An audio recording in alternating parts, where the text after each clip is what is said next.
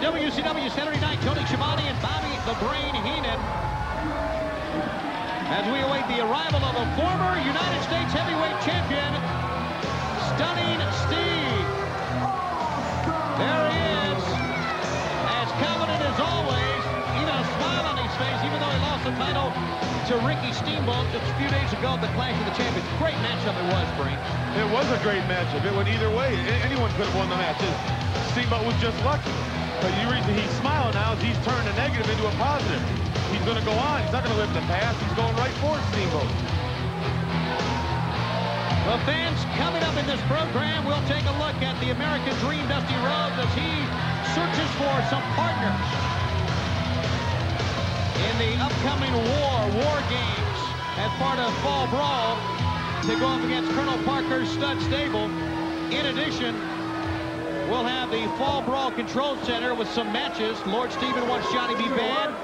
There's talk about a triangle match involving Ric Flair, Sting, and Vader. We'll have more on that possibly. Wow.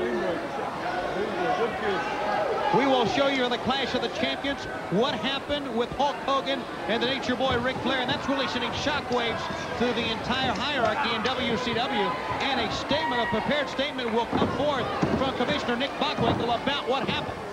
When's he going to do that? Right after the footage. Are we on until midnight?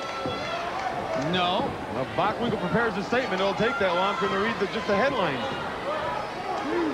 I understand, fans, if you missed the Clash of the Champions, you can see it next Saturday night, September the 3rd.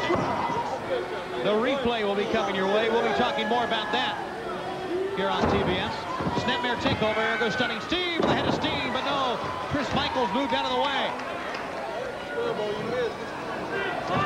Austin is so good. I mean, though he missed the move, he is so good the way he recovers. He didn't jump right up. He didn't go after the guy. He didn't lose his cool. He just took his time and said, hey, I missed something. It's not going to happen again. He's that cool a customer. Top wrist lock applied by Stunning Steve. Still to come also the Nasty Boys against Pretty Wonderful, earning a World Tag Team title shot after winning the Clash back this past Wednesday. Driving a knee down the back of the head. Could have new tag champions tonight. We really could. We almost had a new World Television Champion. But maybe Badd will get that title shot again. The knee driven down to the arm. And here's a pickup. Up and down. Great maneuver that time by Stunning Steve. And stomping on the hands of Chris Michaels. Takes every opportunity, every advantage. But that match with him and Steamboat, that was a classic. They must have uh, covered each other and kicked out 20, 30 times. That's why I say it was a fluke. Well, it's not a fluke. It's just that it could have gone either way. So if Steve wins, would that have been a fluke? Oh, no, he's a champion. Your, your rationale. It's too much. Oh, that's too much. That's that's a wrap.